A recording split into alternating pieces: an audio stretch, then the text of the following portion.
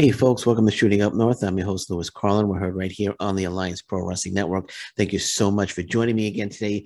MLW locking up another one of their top stars, signing Mads Kruger to a long term deal, a new long term deal.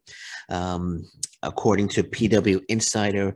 Uh, so uh, PW Insider here reporting uh, indicates Mads Kruger, aka Logan Creed, has signed a new long-term multi-year deal with Major League Wrestling.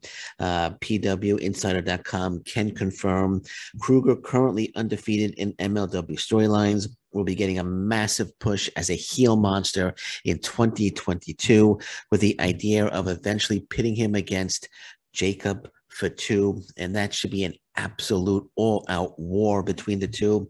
Uh, Jacob Fatu, of course, turning babyface, coming out of um, coming out of the end of Contra and the War Chamber match. Uh, Kruger uh, as Krieg initially debuted for the promotion in 2019, um, and he uh, debuted uh, 2012 in the Georgia area. Uh, so Mads Kruger getting a long-term um, contract, long-term deal to remain with uh, MLW. And my God, my goodness, MLW doing the right thing, man. They're locking up their top stars. I previously reported that they locked up, uh, that they signed Davey Richards to a long-term deal. Uh, the MLW World Heavyweight Champion Alexander Hammerstone signed a long-term deal with them, and now Mads Kruger uh, signing another long, signing a long-term deal with them. Um, uh, in advance of a monster push. So he's going to be pushed heavily in 2022. And I'm looking forward to the Mads Kruger Jacob Fatu program. That's going to be an absolute all out war, as I said, when when those two step in the ring against each other. It's going to be a, just a fantastic, fantastic match. Really looking forward to that. Um, also, in more MLW news, uh, Tajiri, the MLW World Middleweight Champion, will be defending the title in the UK against Jody Fleisch. Uh, so this is Fightful.com um, indicating here Tajiri is traveling to the UK MLW announced that Tajiri will defend the MLW World Middleweight title against Jody Fleisch on February 19th at World Pro Wrestling. Uh, Tajiri previously defended the title against Atsuki Aoyagi in Japan.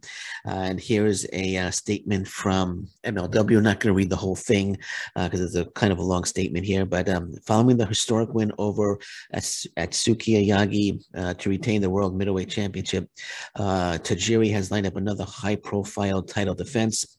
Um, this marks the second international title defense by the world middleweight champion, uh, with All Japan uh, Pro Wrestling hosting the first title bout. MLW has confirmed cameras will be rolling for the historic championship bout in the event a title change occurs. And speaking with the Japanese buzzsaw, Tajiri informed MLW that his goal as champion is to defend the world championship against the top ranked wrestlers of each country.